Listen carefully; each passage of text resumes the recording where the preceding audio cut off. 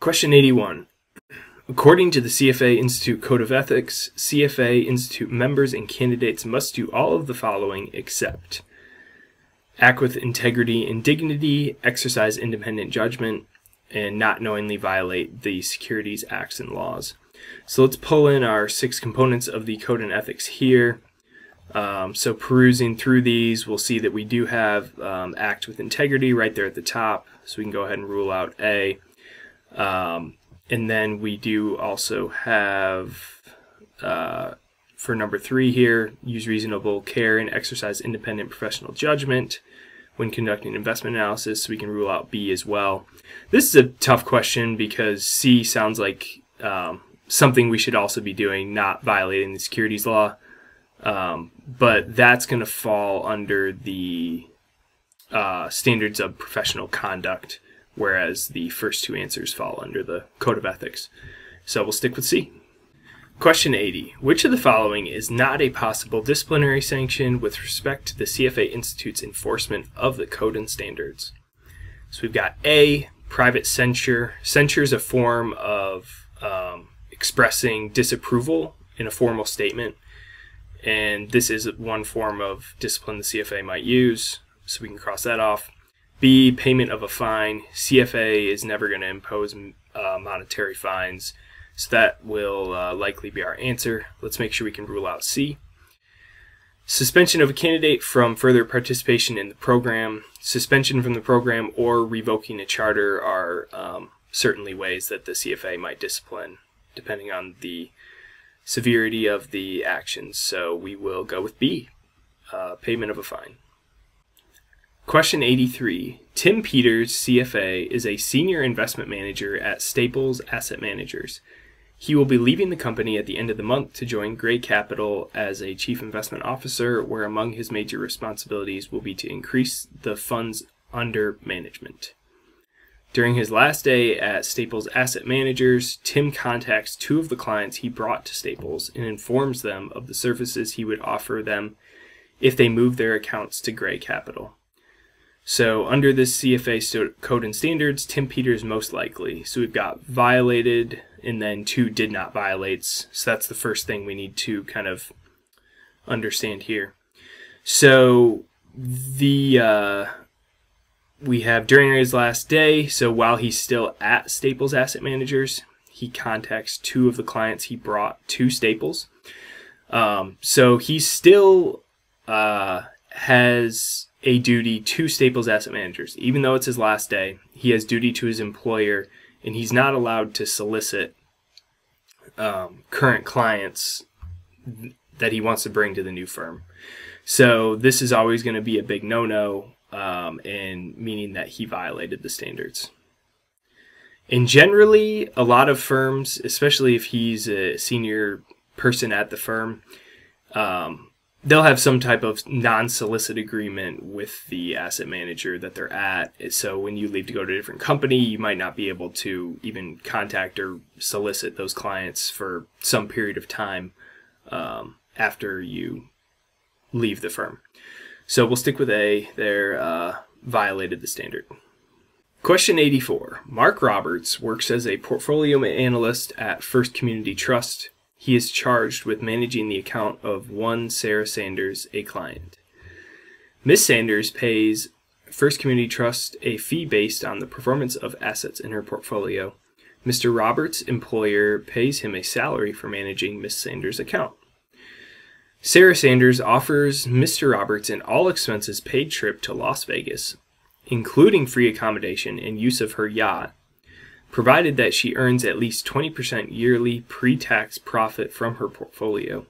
What should Mr. Roberts do concerning the offer? A. Immediately inform his employer of the arrange of the arrangement before accepting it. This sounds like um, a good option for us. Uh, we're always going to need approval from our employer for outside compensation per the standards. B, uh, accept the offer, but only after assessing the likelihood of the proposed level of performance. This doesn't involve um, getting approval from the employer, so that's probably not going to be our answer. Um, C, wait until the yearly results are out before accepting the offer and then inform the employer of the arrangement of the arrangement only if the results meet Ms. Sanders' present condition. We need approval from our employer before uh, agreeing to any arrangement. So this is also not going to be ethical and it's kind of cherry picking um, compensation if results do work out. Uh, so we will go with A then, immediately inform his employer of the arrangement. Question 85. Zheng Yi, CFA, is an analyst at Power Stocks Incorporated. Power Stocks plans to announce a change in recommendation from a hold to a sell on YYZ stock. Yi happens to be a member of the team that decided to change the recommendation. Yi's father has an account at Power Stocks, so he's a client, that's key here, um, that contains YYZ stock. According to the code and standards, trading on Yi father, Yi's father's account should most likely begin. A, as soon as the information is disseminated to all clients. B, only after the rec- recommendation is announced to the general public. Or C, only after Yi, as a beneficial owner, has given an appropriate amount of time for his clients and him, his employers to act. Um, so even though Yi is could technically be a beneficial owner in this case, since it's a uh, direct or close family member, all clients are to be treated equally treated equally. So Yi's father is a client um, since he has an account at Power Stocks, so he should be treated um, just like all the other clients are. Um, so we can go ahead and cross off C um, has given the appropriate amount of time for his clients and his employer to act. He should be acting as his other clients are acting um, since he's a client. And then B, only after recommendations made to the general public. That's also not going to be correct. So we can go with A, as soon as the information is disseminated to all clients. Emphasis, again, because his father is a client. Question 86. Which of the following is most likely correct regarding Standard 1B, independence and objectivity? A. Members and candidates should solicit gifts from their clients only after attaining great portfolio returns. Uh, this is a case where we really just need to use common sense. It's never we should never be soliciting gifts from our clients. They're paying us money um, to do a service. We're never going to be soliciting gifts from them, so we can go ahead and rule that out. B members and candidates should use favorable should issue favorable reports even if forged um, on top of top companies upon request. Never going to be good. Um, to forge reports that's going to be unethical and go against the code and standards. Let's make sure we can choose C. Members and candidates should not accept gifts, benefits, compensations, or considerations from their clients or prospective clients. Um, that's going to be a, a, good answer and will be best practice by not doing that. You're uh, especially not accepting large gifts is going to be the best way to stay um, independent and objective in our analysis. Answer C. Question 87. A financial analyst who's a CFA member sends a research report on a company to his supervisor. The supervisor approves the report, but the analyst soon discovers that the supervisor plans to release a version of the report that shows stronger earnings estimates than the original report uh, without a reasonable and adequate reason. In response to this, the analyst should most likely a, let the supervisor do as he pleases. Um, this is this is tough. This is going to be the most non-confrontational or political approach, if you will, um, because it's going to be tough for an analyst to kind of call out their supervisor and not necessarily call them out, but um, dissent or disagree.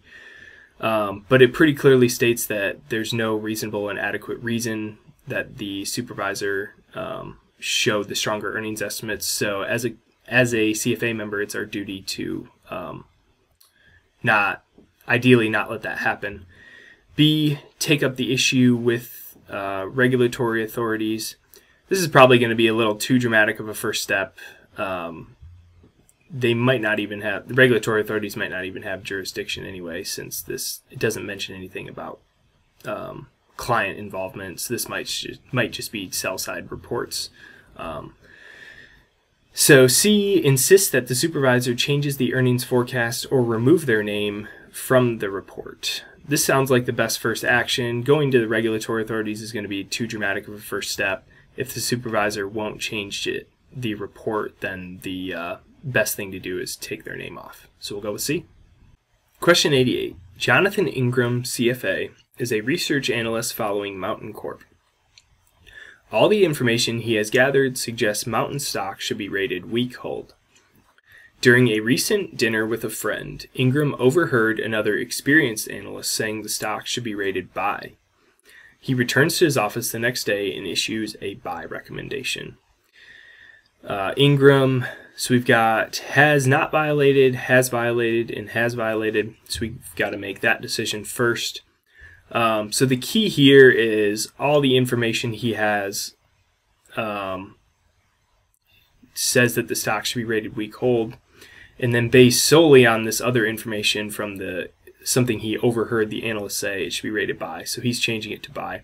So this is likely a violation um, of um, adequate and reasonable basis for our recommendation so we can go ahead and rule out has not violated so then let's look deeper at what these questions say or what the answers say for reason for violating so has violated um, CFA Institute Standards of Professional Conduct because he used material non-public information. There's nothing here stating that the analyst has um, material non-public information. This could just simply be his opinion that he thinks it's rated as a buy based on his analysis. Um, so we can go ahead and rule that out as well. Uh, has violated CFA Institute Standards of Professional Conduct because he did not have a reasonable and adequate basis for making his recommendation. This is going to be true going back to what we said earlier, all his information says weak hold. Another analyst says buy, so he changes to buy, but doesn't really have anything other else to back it up other than um, that other analyst. So this is not a uh, reasonable basis for the recommendation. We'll go see. Question 89. If a supervisor makes a reasonable effort to detect violations by their subordinates, but fails to detect a violation that occurs, he a is in compliance with standard uh, 4C responsibilities of supervisors. This sounds like it could be our answer. The key word here is reasonable effort.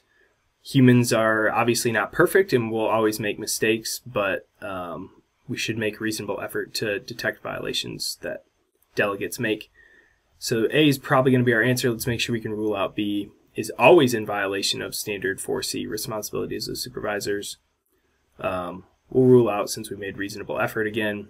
And C is only in violation of that same standard if the violation occurs is punishable by, punishable by law. Um, whether it's law or the code and standards, we're always going to be following the more strict um, rule. So this is uh, whether it's punishable by law or not is not relevant. Um, so we'll go with uh, answer A. Question 90. Joshua Miller, CFA, is a portfolio manager responsible for the accounts of private wealth clients. Kim Ortega, one of Miller's clients, has a below average risk appetite. This is probably going to be important. I'll underline that.